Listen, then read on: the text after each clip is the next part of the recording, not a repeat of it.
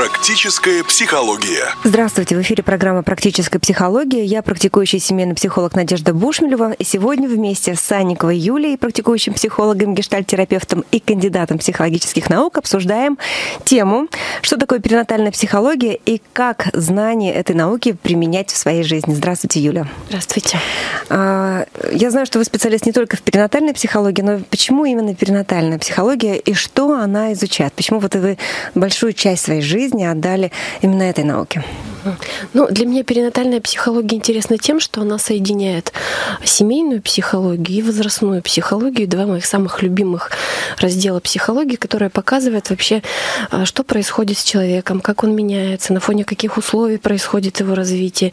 И поскольку это такой самый начальный этап жизни человека, здесь очень многое возможно. Здесь закладывается, формируется личность, да, поэтому это такой таинственный какой-то очень интересный период, период да? да.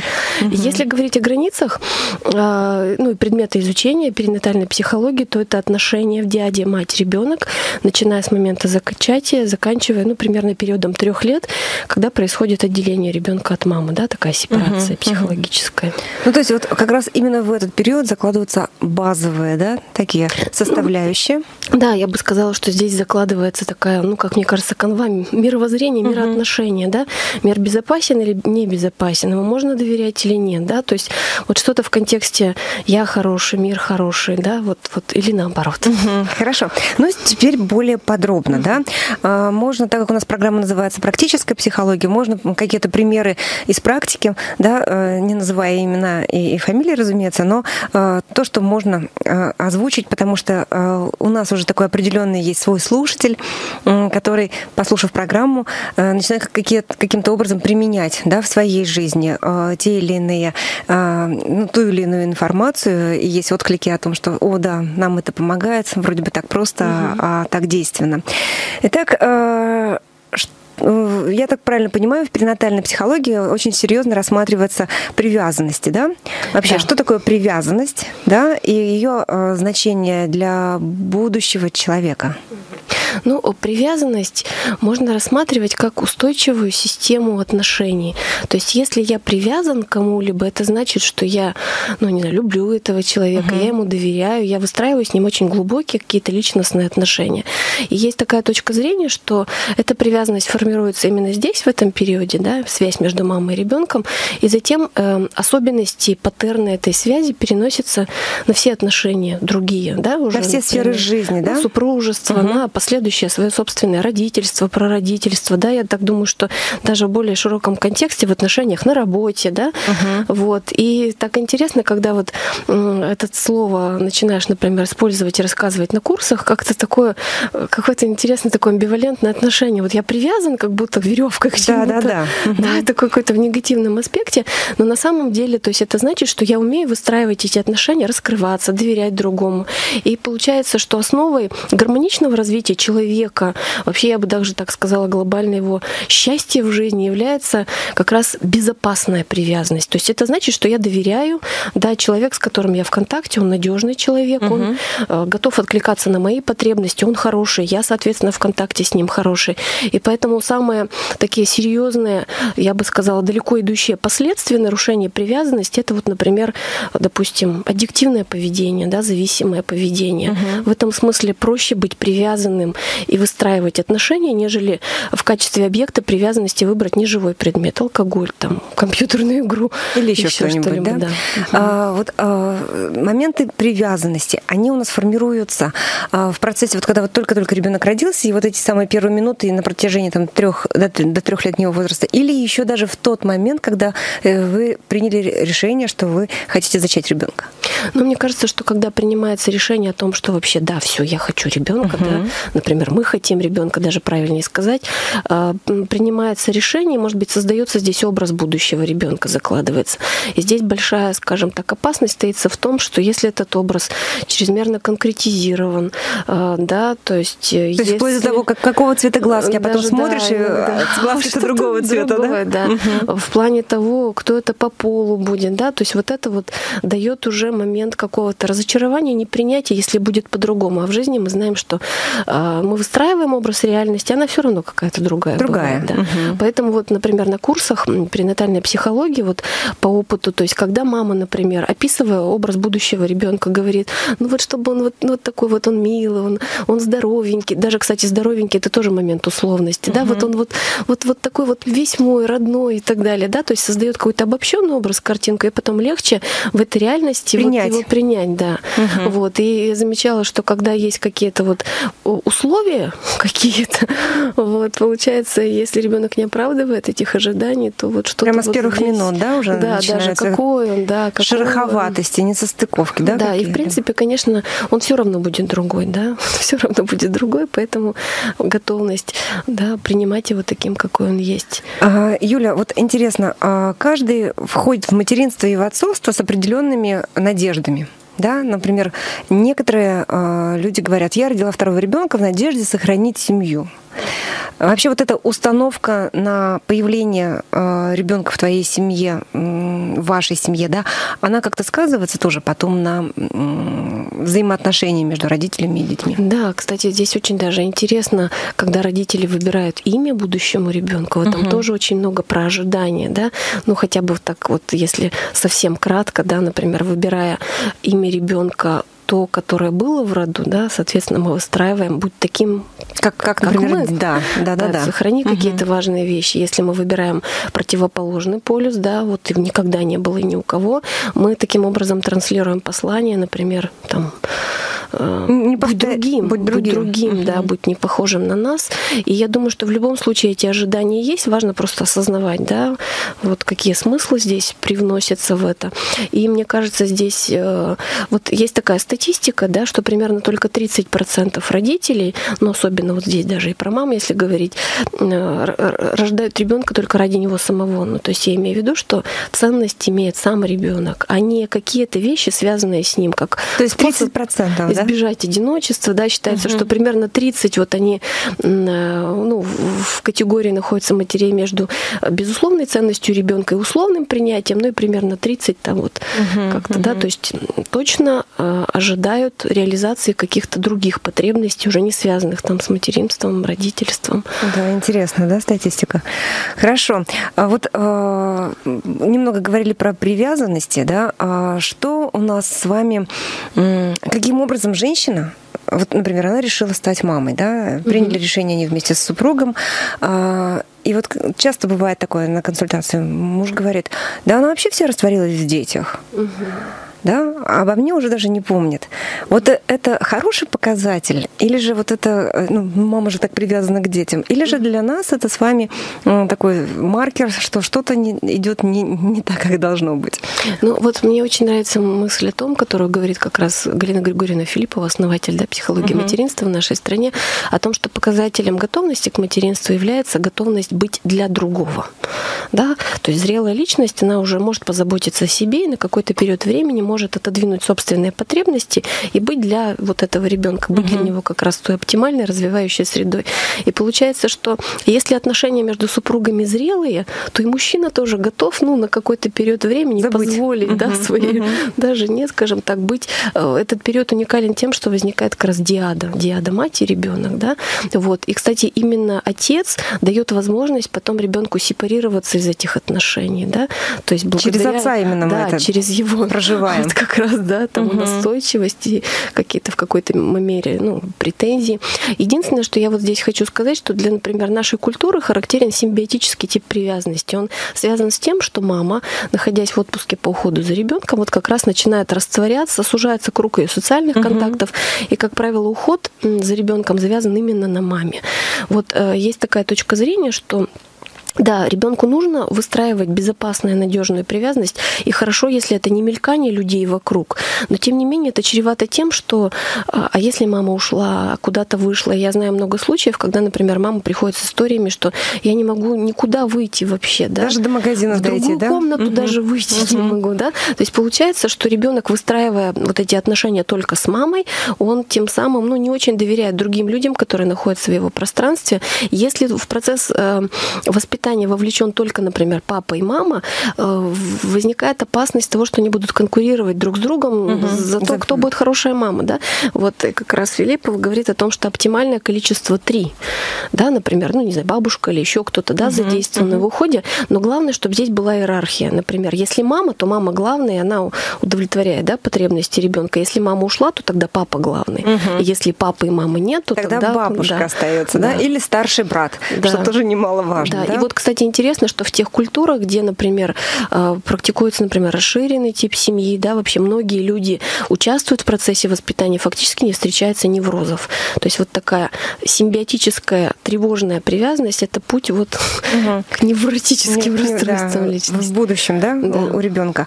Давай тогда немножко озвучим, э, каким образом вот мы можем диагностировать, что что-то идет не так с точки зрения, а, правильно как слово подобрать, с точки зрения развития привязанности, угу. да, вот угу. этой нормальной привязанности ребенка и э, мамы, там, да, угу. Угу. Как, как, что есть норма, что есть для нас уже таким звоночком, Звоночки, да, да, что.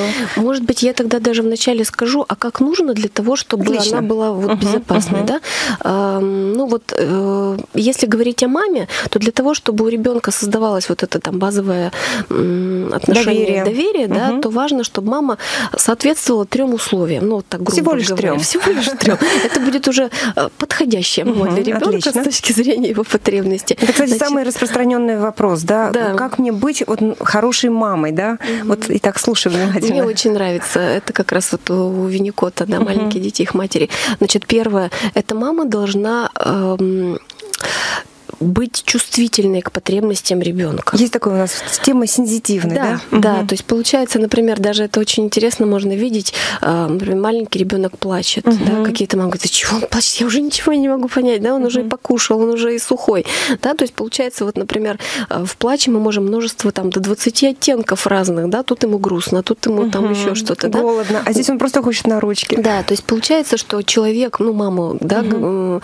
которая сама понимает свои потребности и умеет их распознавать, она может делать то же самое у ребенка и, соответственно, вовремя реагировать на его потребности. Да?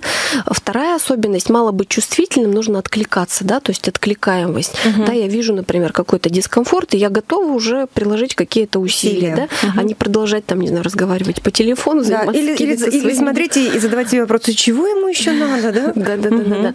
И третья характеристика это умение контейнировать отрицательные эмоции ребенка. То есть, да, во внешнем мире возникают какие-то, ну не знаю, может быть, сложные жизненные ситуации для ребенка, угу. да, и это умение перевести минус в плюс.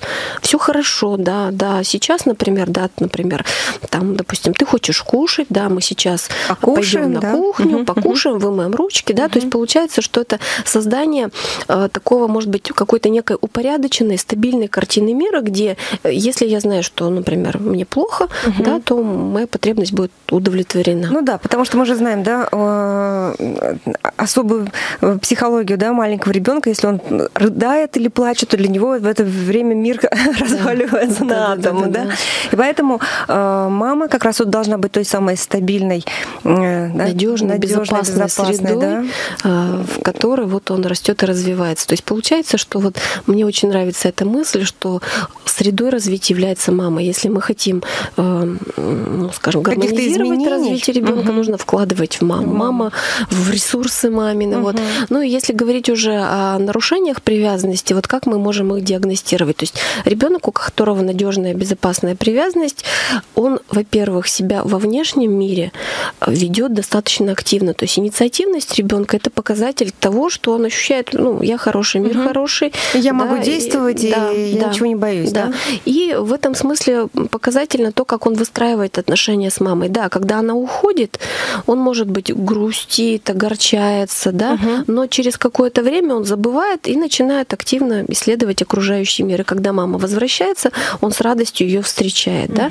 Если он попадает в незнакомое пространство, да, он, э, например, ну, может быть, какое-то время там держится за маму, да, но потом начинает активно исследовать окружающий мир и, ну, приглашает, может быть, маму, да, с собой, угу. мам, давай поиграем, поиграем, там еще что-то.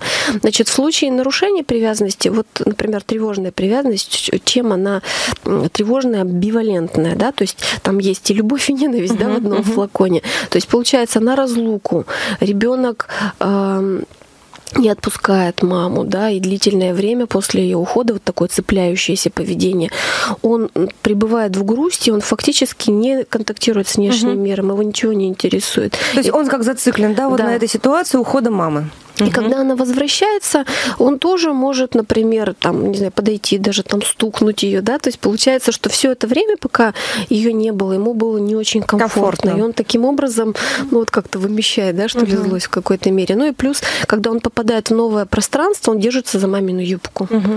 Такие вот. юбошники, да? Да, да, да, да, да, да. Угу. То есть вот. Ну и... вот еще, еще вот я просто совсем недавно тоже угу. читала статью, понравилось, что все-таки чаще всего вот э, это бывает первенцы. Знаете, когда у, да, у, кстати, у, у мамы нет опыта, и она не знает, в принципе, как, да, а вот уже вторые, третьи дети, они уже меньше страдают этими состояниями, потому что тут и, и братья, да. и, и сестры есть, и там бабушки, дедушки, еще какие-то люди приходящие, да, здесь, да, и большее число людей вовлечено угу. в процесс взаимодействия с ним, и мама уже более чувствительна к его нуждам и потребностям, она уже понимает, что с ним, ну и плюс, потому что опыт уже есть, меньше, да, да угу. новизны в этом, она менее тревожная, и, соответственно, тревога это же всегда напряжение. Угу. А если человек напряжен, он не очень хорошо контактирует с собой. То есть, получается, когда вот эти детки, которые у нас, как говорится, под юбкой, да, все время растут, да. надо прежде всего маме сказать, мама, расслабься. И это да. вот состояние расслабленности, да, оно... Да, доверие, да, доверие. все хорошо, угу. да. Вот. И вторая особенность, вот скажем так, второй тип полярной привязанности, эм, когда ребенок выглядит очень самостоятельным. Угу. То есть, например, э, мама уходит куда-то, а ему, в общем-то, все равно. Ушла ушла и ушла, пришла и пришла. И во внешнем... Такое ощущение, как будто бы, да? да. То, что есть, что нет, для меня это не имеет значения. Да, и многих, например, родителей даже это вообще очень радует. И, например, некоторые смотрят, а вот, вот например, Петя такой самостоятельный, угу. да?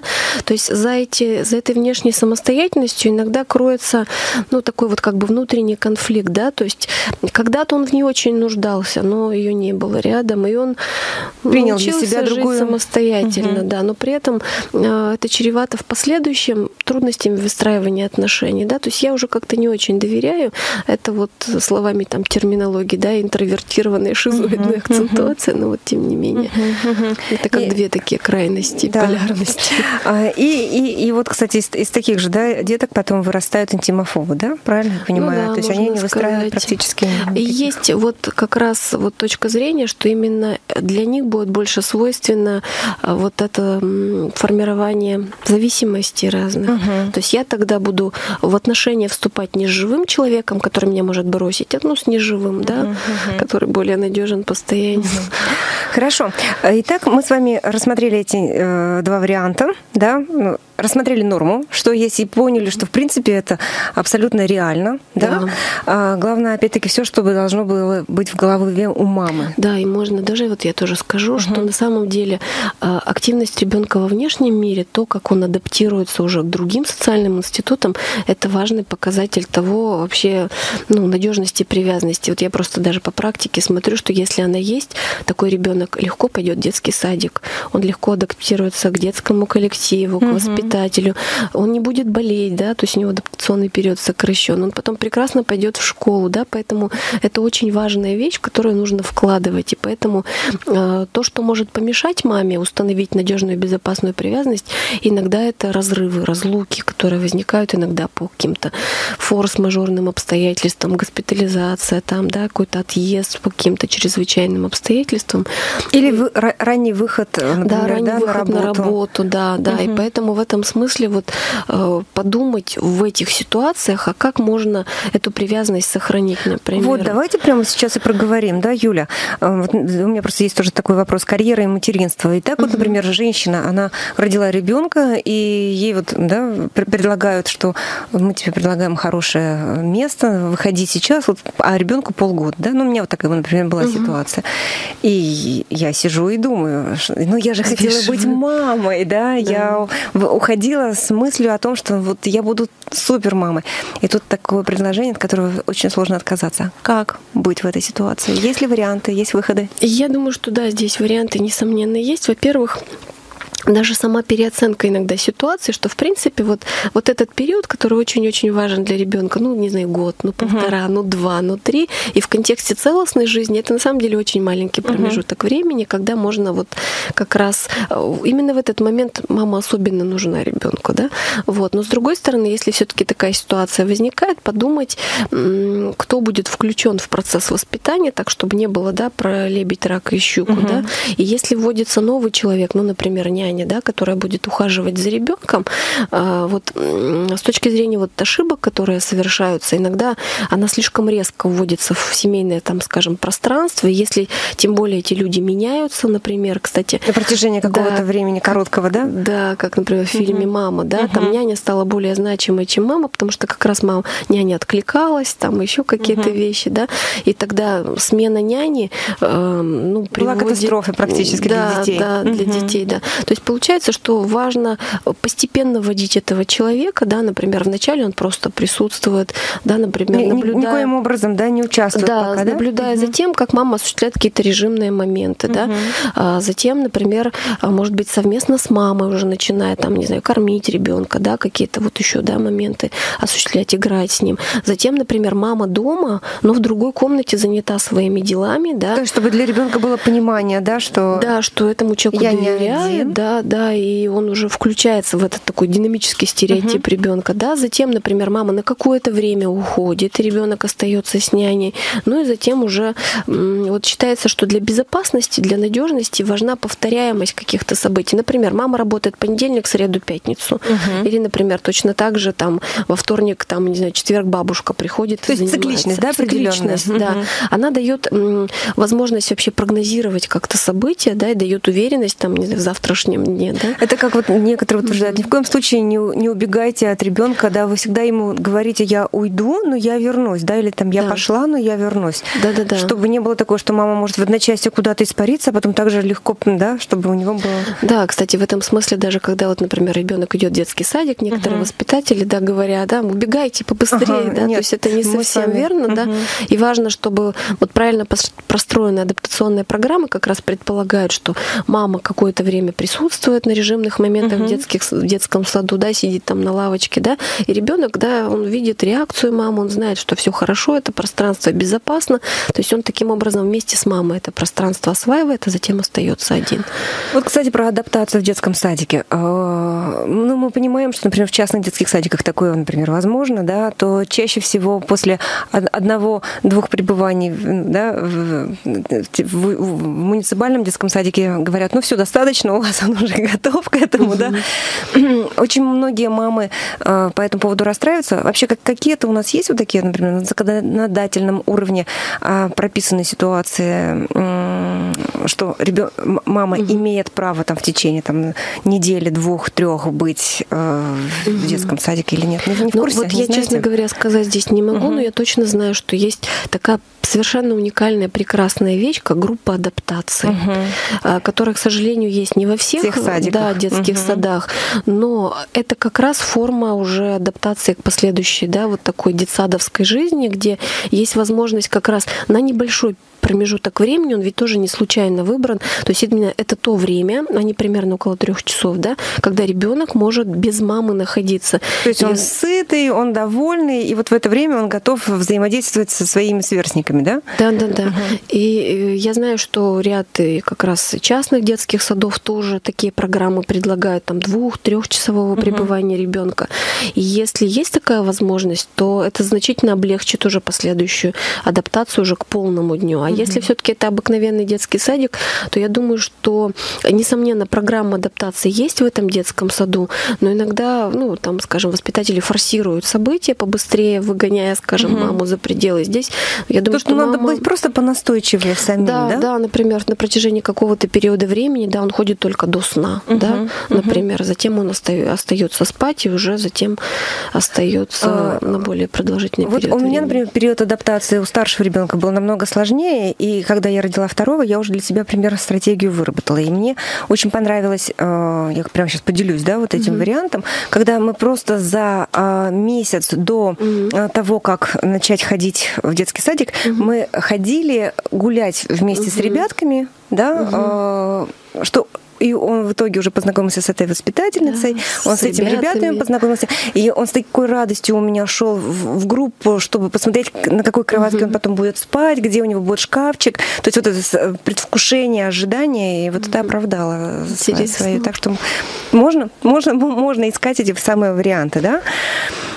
Так, хорошо, интересная сегодня Кстати, у нас программа. кстати, очень Мгм. интересно. Вот я слышала об опыте московском, да, вот детских садиков, скажем так, продвинутых.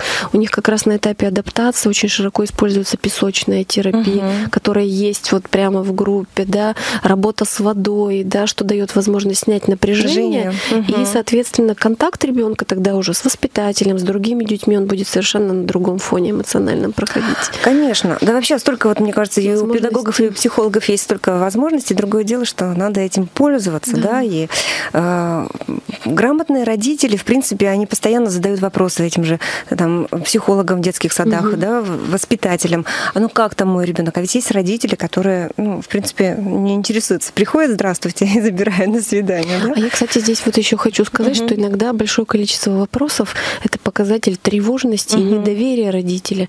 И вот по практике я точно вижу, что если родитель понимает, что детский садик это безусловное благо для ребенка, потому что А такие мы, а условия мы должны это понимать. социализации ребенок не получит нигде, Нигде. ни во дворовой компании, И поэтому очень, конечно, жаль, да, бывает детей, которых лишают родители по каким-либо причинам, да, вот, вот этого периода детского сада. Здесь столько ребенок учится, Да. что ему потом в жизни помогает, да, на Да. любом периоде, Да-да-да. на, на любом и этапе. вот в этом смысле, если у мамы в голове там установка, и она да, твердо в этом убеждена, что вообще садик это хорошо, это отношение передается ребенку, да, и он начинает видеть эти плюсы, тем более, если это проговаривается в семье, как здорово, как вас вкусно кормят, какие у вас интересные занятия. А как повезло, вы спать можете, да, днем. Да, да, да, Мы взрослые уже лишены такой возможности, да?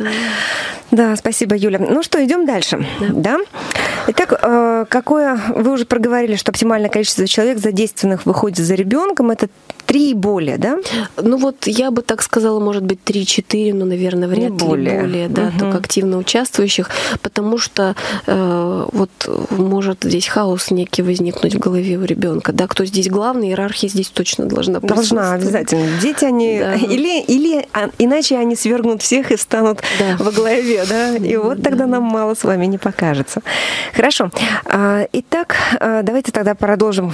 Условия успешного развития ребенка до трех лет. Что нам с вами необходимо? Мама как среда, да? Работаем через вот эту самую маму, да, через эту самую среду развития. Если мама в неврозе, то ребенка мы сто процентов увидим в этом же Да, состоянии, да, да. да, да, да. Следовательно, мама себя ресурсирует, наполняет. Как это можно сделать, А, если у тебя, ну, если, например, она решила сидеть три года с ребенком, у нее только этот ребенок, муж приходящий, уходящий по утрам и вечерам, да, четыре стены. Как мы будем раздвигать эти стены? Да. Что вы рекомендуете? Ну, я вот э, хочу сказать, что точно можно в качестве да, лозунга обозначить счастливая мама, счастливый ребенок. Это точно. И получается, вот эм, это радость которую должна мама получать во взаимодействии с ребенком, занимаясь, например, любимыми делами, ходя по каким-то там интересным, ну, я, да, радующим ее местам, да, то есть получается, что единственное, что это не должно быть всегда, что, ну, например, да, там надели слинг и пошли, да, Мгм. то есть получается, что тогда м, немножечко акцент смещается э, не мама для ребенка, а ребенок для мамы. Ребенок ходит по маминым делам, то есть когда есть возможность вот некий баланс соблюсти. Вот здесь мы гуляем, и это для него, а здесь это я делаю для себя. И, кстати, очень многие молодые мамы, находящиеся как раз в уходе, они говорят вот об усталости, о дефиците времени для себя. На самом деле вот маму любую можно сравнить с аккумулятором, да, или там с батарейкой. Важно, чтобы она была заряжена достаточно, да, если она чувствует, что аккумулятор садится, да, то есть найти какие-то ресурсы в этой ситуации. Вот мне очень понравилось, например, одна мама рассказывает, да, многодетная. Вот если я чувствую, что мои ресурсы падают, я знаю, что, например, там я съедаю шоколадку, Это для меня хватит на час. Да, если я смотрю какое-то время, медитирую, глядя в окно, меня хватит на полтора часа.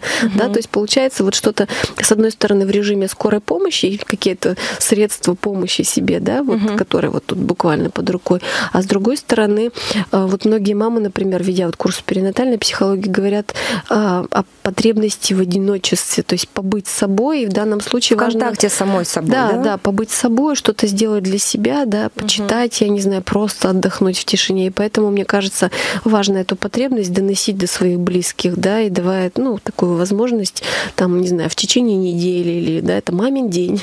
Да, но, но прежде всего нужно да. разговаривать, потому что вот смотри, будем честны, да, очень многие женщины думают, что вот я, ну, я же сама решила стать матерью, да, это теперь мой крест, и я несу его по жизни, да.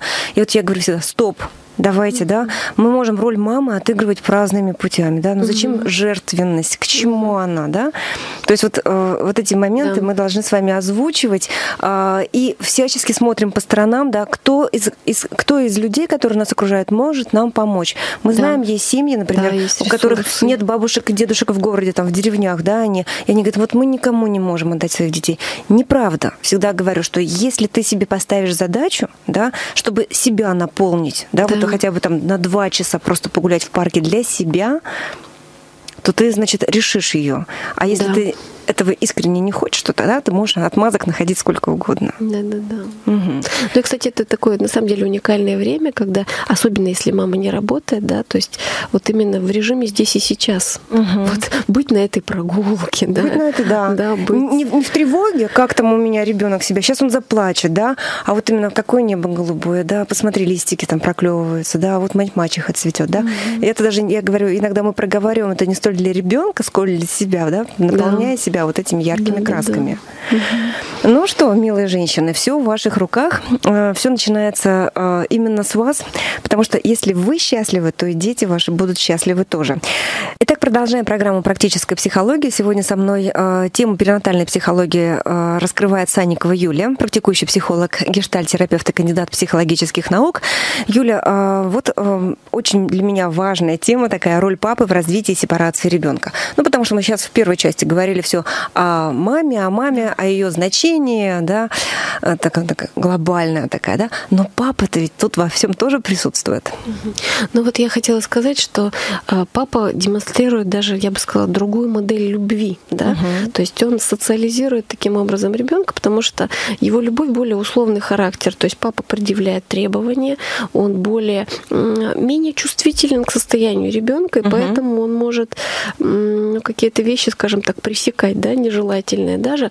Но вот с точки зрения проблемы, наверное, вот то, что я вижу в высказываниях, например, мамочек, ну я как-то ему не очень доверяю, он делает что-то не то, угу. да, лучше я сама и так далее. То есть получается, что, да, конечно же, там другой человек, да, он, э, ну, другую модель все равно какую-то, да, демонстрирует. И в этом смысле мне кажется, что если уж не совсем они в разную дуду дуют, да, то есть они понимают, что в итоге они хотят, какого человека они хотят воспитать, Вырастить. то путь к этому может быть разный да, например, у мамы один, более эмоциональный, чувствительный, да, с подстройкой к эмоциональным потребностям ребенка, а у папы э, с точки зрения, может быть, требований, да, ограничений определенных, да, и в этом смысле мне кажется, что э, папа скорее будет развивать волевые качества в ребенке, да, организованность, самостоятельность, там, да, если он сам, сам таковым является, да, да, угу. ну в любом случае э, это будет некое дополнение к тому, что есть, и ну, ребенок вырастет, он встретится с разными людьми, да, и это в любом случае. Для него будет жизненный опыт, да? Да, да. Вот да. смотрите, ну, и можно я еще добавлю, да, да, да. вот в исследованиях, которые показывают о вкладе вот как раз отца в воспитание ребенка, несомненно подчеркивается как раз развитие интеллекта. Угу. Вот, то есть если мама над эмоциональной стороной, личностной, да, трудится, да? трудится, угу. да, вот, ну и плюс это волевые качества прежде всего, успешная социализация ребенка в обществе. Ну и плюс надо помнить, что а, ребенок уже в последующем следующем будет выбирать свою вторую половину, ориентируясь на маму или папу. На маму или папу, да, угу. в любом случае. Поэтому папу ни в коем случае не отстраняем от процесса да, воспитания детей, а наоборот всячески привлекаем к этому. Да. Это а, одна из важных, я считаю, да, условий, одно из важных условий, чтобы ребенок развивался гармоничной личностью. А, ну, вот ко мне тут недавно приходил Артем Скобелкин, да, он ведет вообще клуб отцовства. Да. то есть он встречается с мужчинами, да, объясняют, рассказывают общаются друг с другом. Э, ну, вот вы видите, встречаетесь с женщинами, да? Ну, а про этот еще проект мы обязательно расскажем. Но сейчас вот мне хотелось бы по поводу сепарации. То есть вообще папа, он всегда устанавливает определенные определенные ну, такие правила, правильно, да. да, по жизни. Вот я, например, знаю, что папа, э, всегда восхищаюсь, когда папа говорит, так, вот его место в колыбельке, и нечего его занимать рядом с моей женой. Но когда ребенок настойчиво предлагает себя рядышком лечь. Вот. А, но а, не только это. Вот, например, тут совсем недавно слышала притчу о том, что именно отцы, орлы, то есть папы орлы выбрасывают из гнезда орлят, когда они долго mm-hmm. засиживаются. Интересно. Не мамы это делают. Мама же, ну, mm-hmm. материнское же сердце не может это позволить себе, mm-hmm. да? А папа прилетает и расставляет все точки над «и». Так, mm-hmm. тебе время пришло расправлять крылья, вот, пожалуйста, выбрасываю тебя из гнезда. Mm-hmm. И ему ничего не остается, как расправить mm-hmm. эти самые крылья и да. совершить свой самый первый полет, да? Вот именно эта же функция у нас есть и у папы. Почему очень часто бывают в подростковом периоде конфликты, именно, mm-hmm. например, у подростков с отцами, да, и э, что делают подростки? Хлопают дверью и ходят из родительской семьи, да, ну для mm-hmm. того, чтобы, конечно, спустя какие-то года потом вернуться, mm-hmm. но это как раз функция сепарации. Mm-hmm. Mm-hmm. Правильно я понимаю, да? Да, да, очень, на самом деле, да, здесь такой красивый пример. Хорошо. А я еще здесь хотела сказать, что на самом деле здесь процесс двухсторонний, да, и папа помогает ребенку, да, встать на ноги и стать взрослым, да, если мы имеем в виду виду, что взрослость это ответственность, да, это не только права, но еще и обязанности. Конечно. Да? То есть получается, что мужчина в этом смысле воплощает как раз, э, если женщина, да, удовлетворение потребностей ребенка, да, заботу о нем, то мужчина это как раз требования, запреты и санкции. Санкции, да. В случае да. необходимости, как необходимый, ну, такой вот баланс, да, и в этом смысле система воспитания сбалансирована. И ребенок в этом смысле дает возможность пробудиться, да, лучшим, да, как бы качеством, да, чувством отцовским. Есть такая фраза, да, что ребенок это отец мужчины, да, угу. то есть и раскрыться с какой-то новой грани, да, с позиции ответственного, зрелого уже мужчины. Но я думаю, что мы женщин сегодня убедили в том, что мужчина должен присутствовать, да, в воспитании, отец должен присутствовать в воспитании ребенка и ни в коем случае его не ограждать. Прямо вот, прямо с самых первых минут, да, не бояться папе дать этого малыша поддержать, да. когда он родился. Идти в роды можно в партнерские, да, ну если, например, причем, такое у нас приемлемо. Причем здесь интересно, что чем раньше состоится встреча папы и ребенка, да, угу. тем больше этих вот нежных чувств и привязанности. Есть такой феномен бондинг, да, это угу. запечатление. Вот если у животных импринтинг, да, увидел, вылупился утенок из яйца, увидел лису, это его мама, увидел швабру, это его мама. Ну, у ребенка, конечно, здесь не так, но этот процесс двухсторонний, да, поскольку когда мы видим это вот, вот такое чудесное совершенно существо, да, вот Э, то запечатление это с двух сторон идет, и мне очень нравится, э, как говорит вот Филиппова, вот ребенок устроен так, что вот запах его, вот, вот эта кожица такая угу, нежная, нежная, да, вот эти пропорции, да, тела и так далее. А природа потрудилась над тем, чтобы мама его под кустом не бросила, да, вот все. Чтобы было жалко, да, такую прелесть оставить где-то. Да, да, поэтому мы так умиляемся, когда видим там щенков, котят и так далее, да, малышей видим. И в этом смысле, конечно, если папа вовлечен в этот процесс, да, это здорово. Но с другой стороны, вот в отношении партнерских родов я здесь, конечно, не могу однозначно сказать, потому что я знаю случаи, когда мужчина был настолько потрясен, потрясен увиденным, что угу. у него там с далеко идущими последствиями угу. развивались угу. вещи. То есть, ну, то есть для, него, для него это просто была травма. Стресс, да. Угу. Ну и с другой стороны, а, каким образом он в этом присутствует, что он здесь видит, видит ли он красоту вообще угу. рождения, да, либо он э, видит свою жену вот именно и перестает ее воспринимать как женщину, а видит угу. ее прежде всего как мать, да, своего ребенка. Поэтому здесь выбор. Все, все тонко и все очень да. индивидуально, да, согласна. Угу. Но вот тут недавно тоже общалась э, с генетиками, они рассказывают о том, что практически все дети э, стараются, ну, как только-только они когда родились, да, угу. не надо искать, говорит, себя, маме, угу. потому что там дети все будут похожи на папу. И это тоже природа создала угу. уже за тысячи и тысячи лет для того, чтобы угу. когда еще вот в первоначальном, в первобытном, угу. да, когда мужчина смотрит так, его детеныш, не его. Угу. Если с первых минут похож на него, значит его. Так что, ну, это, конечно, все может быть на уровне просто таких жизненных притч, да, но тем не менее интересная позиция, правда? А, давайте попробуем поговорить о специфике ситуации рождения. То есть, что мы под этим подразумеваем, да, угу. и как это тоже сказывается на будущее э, ребенка. Угу.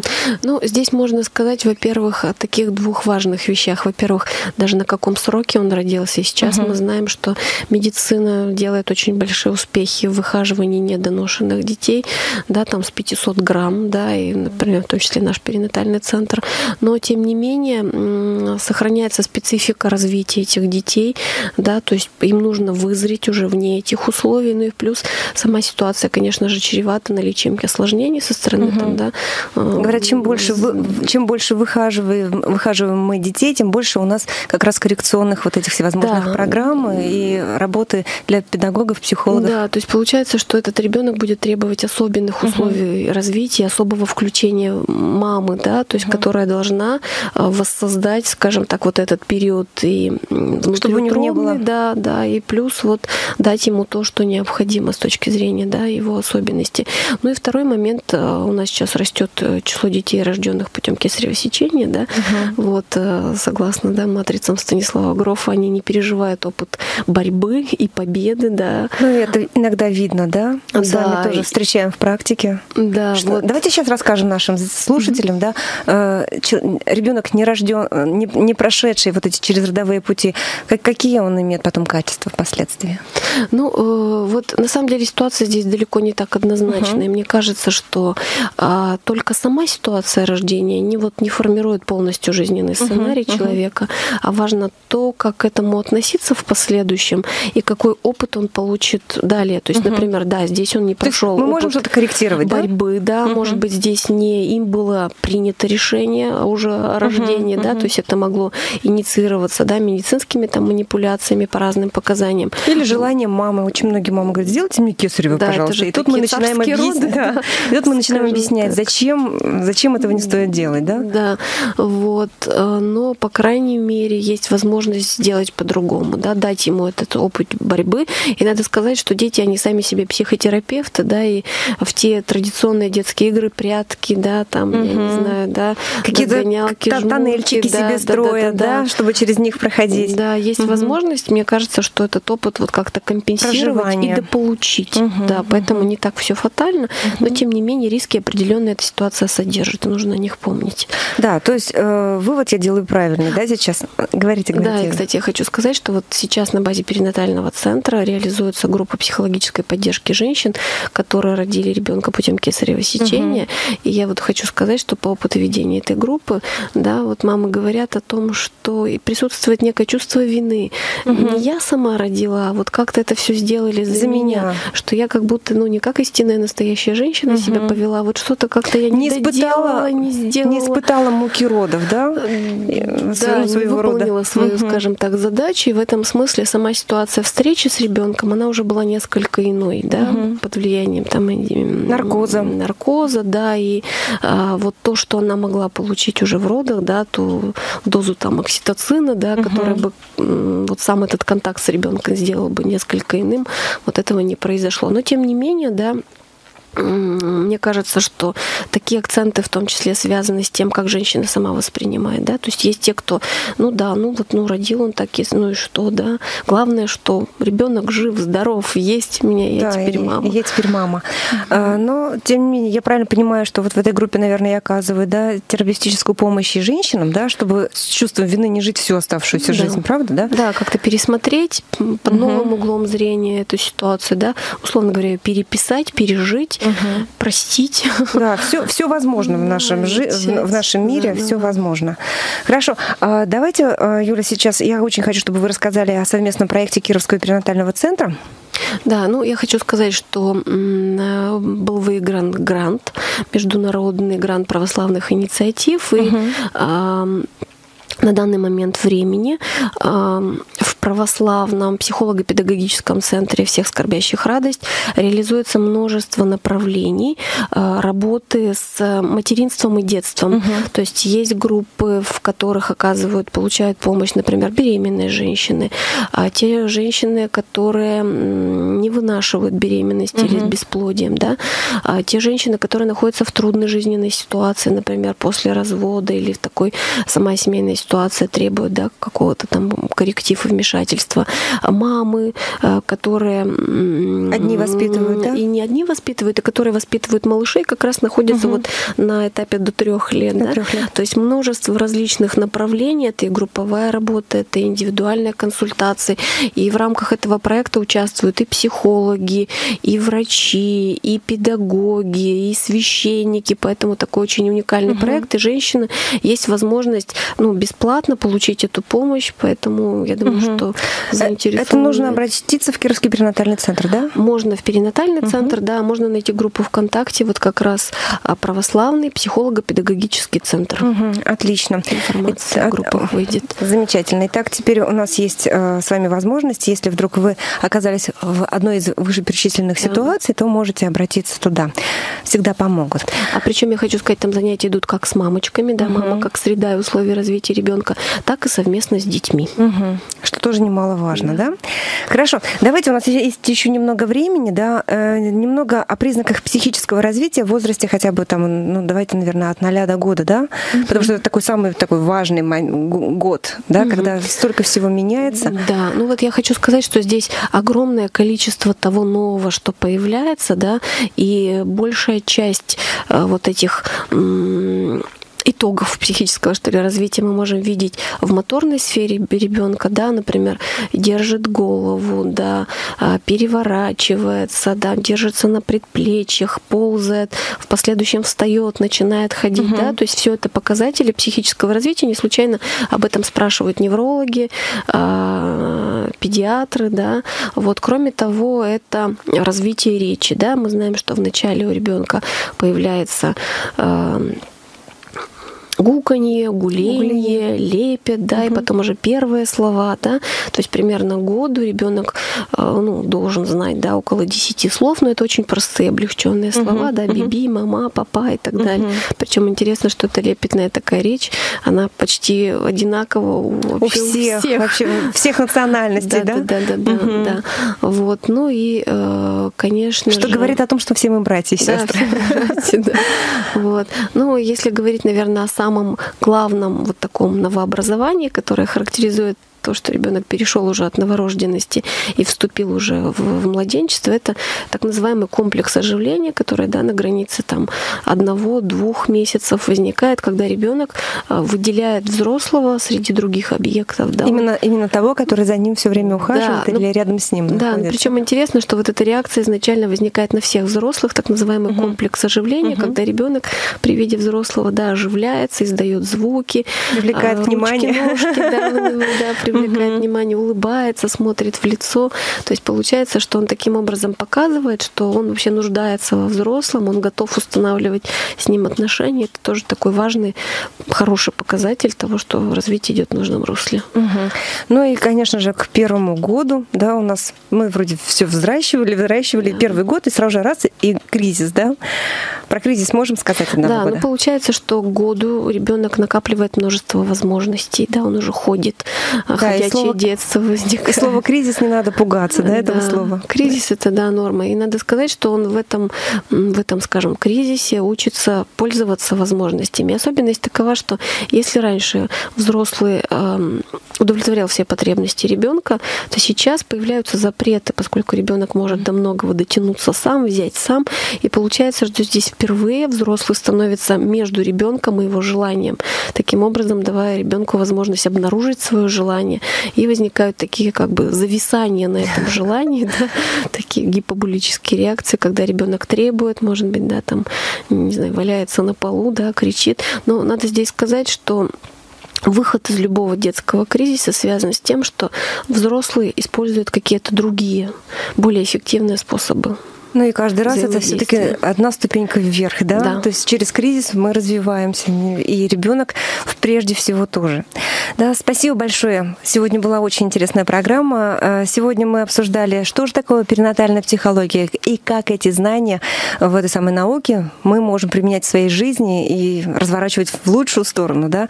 Потому что этому нигде нас не учили. Ни в школах, ни в институтах, если вы, конечно, не являетесь психологом, педагогом, да?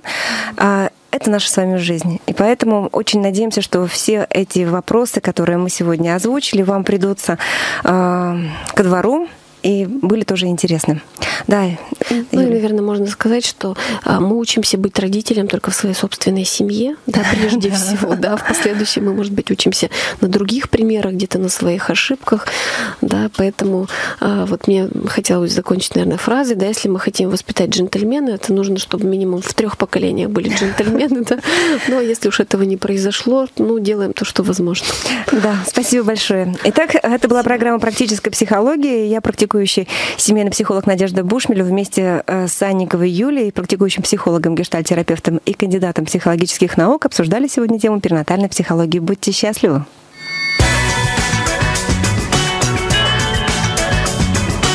Практическая психология. Имеется противопоказание, проконсультируйтесь у специалиста.